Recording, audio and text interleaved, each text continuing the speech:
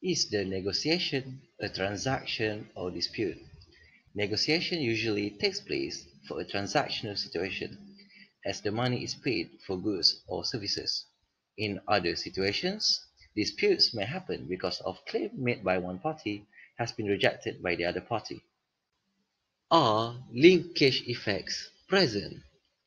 It does happen in the world of negotiation. For example, when MNC has operations in several countries, a decision made in one country may affect the other countries. Is agreement required?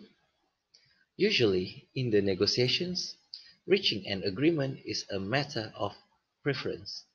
However, in other situations, the agreement is not only the course of action, but it is required.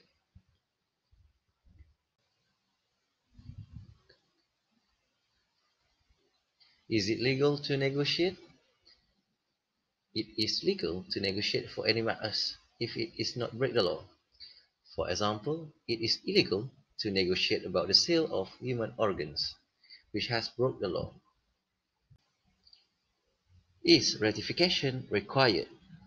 Contracts may have ratification.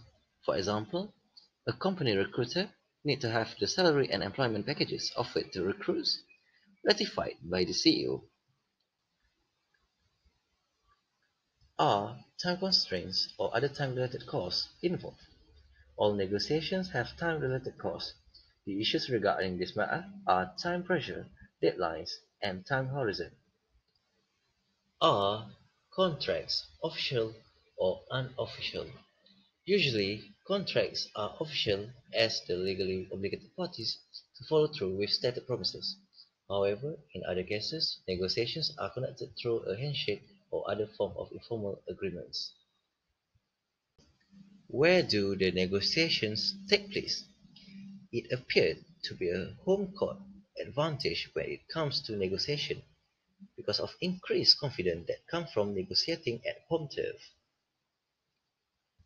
Are negotiations public or private?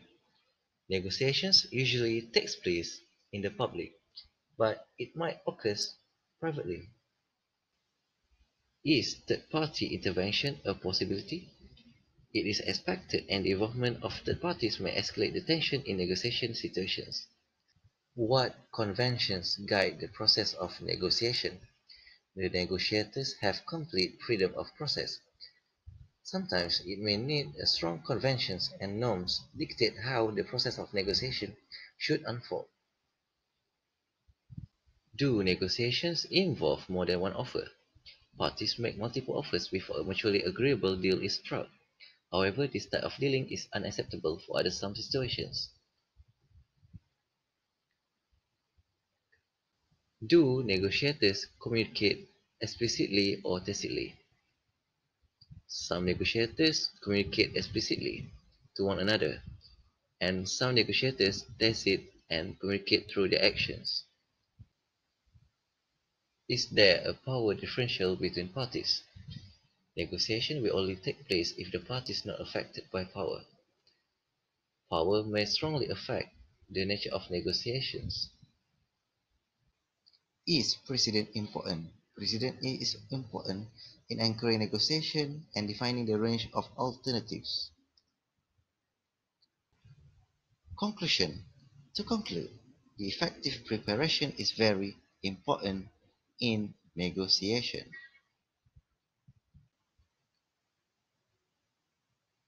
Past questions, January 2018.